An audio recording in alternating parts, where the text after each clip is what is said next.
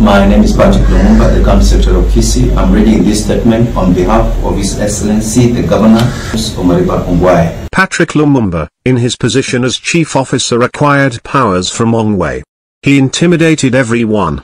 He used Zacom Wengo and Dolphin Omaye as conduits. They were powerful personal assistants. He used their personal accounts to transfer government money. He promoted them irregularly from Job Group J in 2015 to Job Groups M and P respectively in 2019.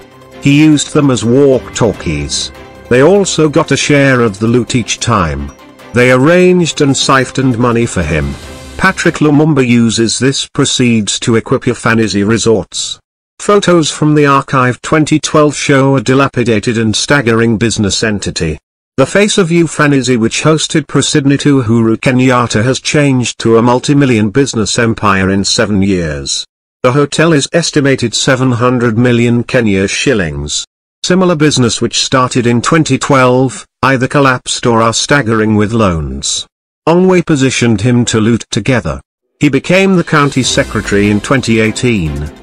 He has employed all his relatives and receives bribes to employ and sign contracts as directed by Ongwae.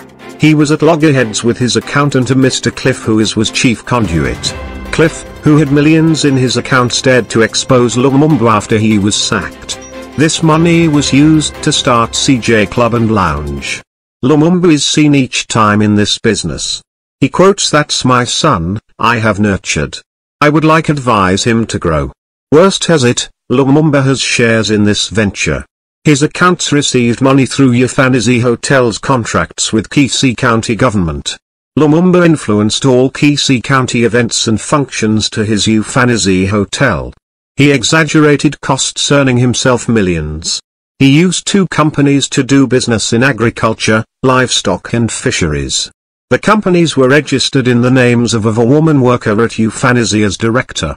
The same companies had Isabel Lumumba as bank signatories. The accountants were always tasked to pay these companies without delay. A case in point is last year 2021. The accountants were forced to pay retention and pending bills even when there was no proof of services. Lumumba colluded with CO Alpha News Mokaya to defraud Kisii County government more than 450 million shillings in supplies of various goods and items in the Department of Livestock and Fisheries through Milimo Investments Limited. This was at the discretion of Ongwae. He fucked the constitution and the law.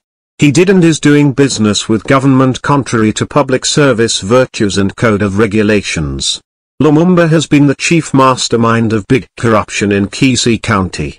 Indeed, he is the chief advisor to Ongwae. He is now eyeing the position of deputy governor. We County Chronicles. Indeed Wawara is Ongwae's song.